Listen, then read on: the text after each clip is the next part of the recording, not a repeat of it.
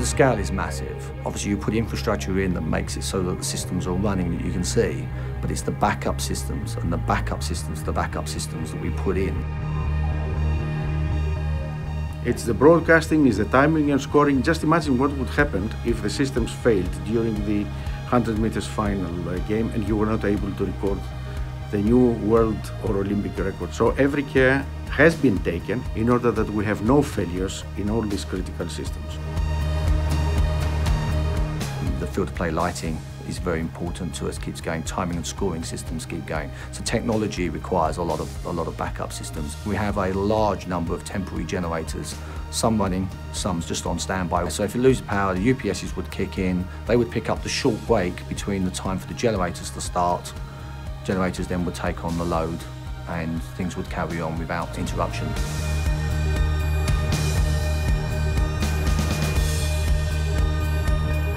The UPSs, Ripple power supply uh, units, we've got 3,000 of them here in, in London to make sure that if, so if there's a failure that this backup unit jumps in and keeps the power going.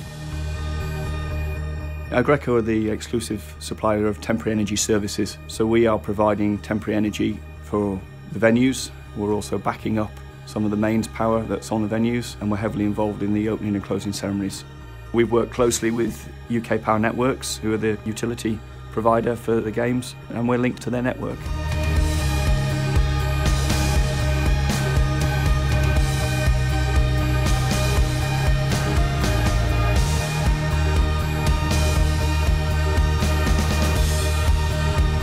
The installation into the stadium, which has been particularly challenging, you know, we had over 100 people just working on the stadium in early March, April.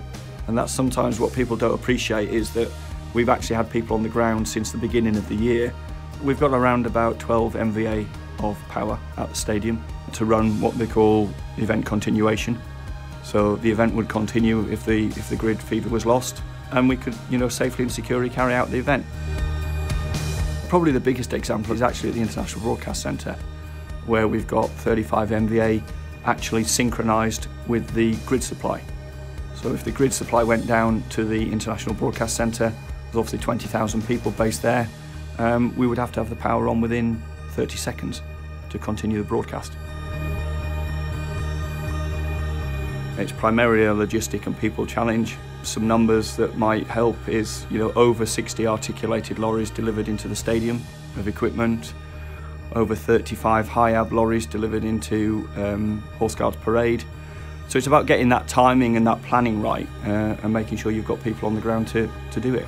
We're talking basically uh, power that is going to go away after the games. So powered by generators or powered by temporary distribution. Some of those we're doing on backup, so they're provided by the mains, and some we're doing on what they call prime power.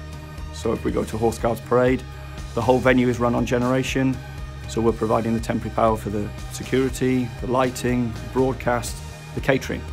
Um, and within a month of the games, it'll be gone. About getting the right equipment in the right place at the right time with the right skills to deploy.